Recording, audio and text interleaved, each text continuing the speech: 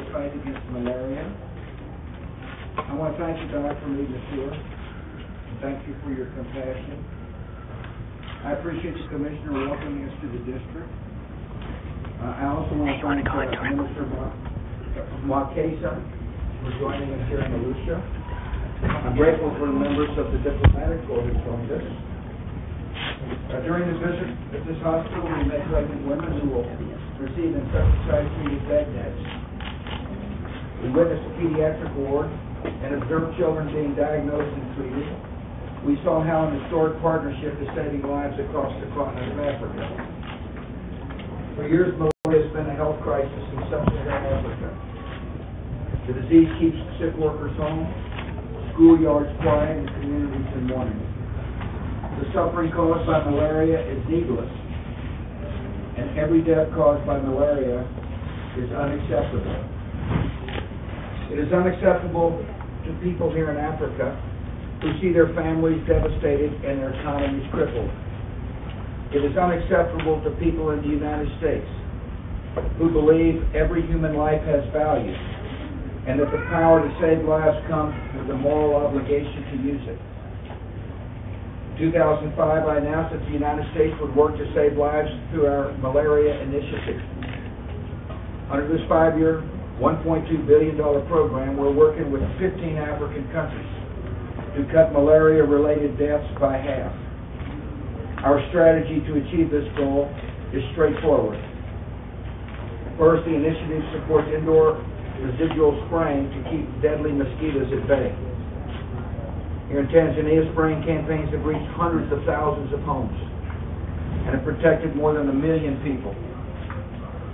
Second, the initiative supports treatments for those who are most vulnerable to malaria, especially pregnant women.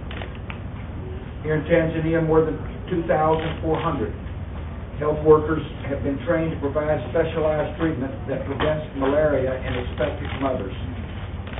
Third, the initiative provides life-saving drugs. Here in Tanzania, the program has supported more than a million courses of treatment and has trained more than 5,000 health workers on how to use them. Fourth, the initiative supports the distribution of insecticide-treated bed nets, and Laura and I are about to distribute some of those bed nets.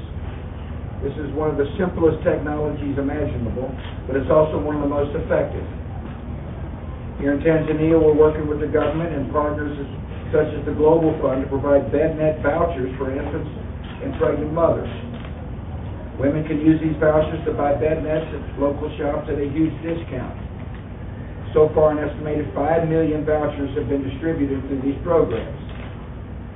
Today, I'm pleased to announce new steps in the BedNet campaign.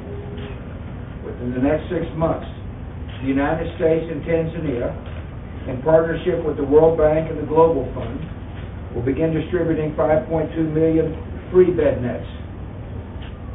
This ambitious nationwide program will provide enough nets to protect every child between the ages of one and five in Tanzania. The BedNet campaign is supported by Tanzanian manufacturers, including A to Z Textiles, which we will visit later today. So as this campaign protects women and children from malaria, it also boosts, boosts local economies. It helps develop a culture of BedNet use that will be sustained long after relief programs have ended. For the past two years, we've applied our strategy here in Tanzania, and we're seeing results. In June 2006, at the district hospital in Muleba, more than 50 people died because of malaria. In June 2007, after a spraying campaign supported by our malaria initiative, the number of deaths had dropped to five. In Zanzibar, the percentage of infants infected with malaria has dropped from about 20% to less than 1%. The campaign to fight malaria has the support of government and private citizens alike. In the United States, school children have raised money to send bed nets to Africa. Houses of worship have sent their prayers and their faithful, compassionate men and women who travel here to confront the suffering and heal the sick. Tanzania's citizens are stepping forward. In one area, residents launched a campaign called Kataa Malaria. For those who don't speak Swahili, it means reject malaria. As part of the campaign, workers went door to door to teach people how to use bed nets. They launched TV and radio ads. They spoke in mosques about malaria prevention and treatment. And their efforts are working. This is a campaign of compassion. This is a practical way to help save lives. It's in the interest of the United States to save lives. And it's in the interest of the Tanzanian government to put forth an effective strategy. Our interests are combined, and our interests are now making a significant effort. And so, on behalf of the United States of America, we say God bless you. And to the Tanzanian government, and to the Tanzanian government, we say thank you for your efficient and hard work.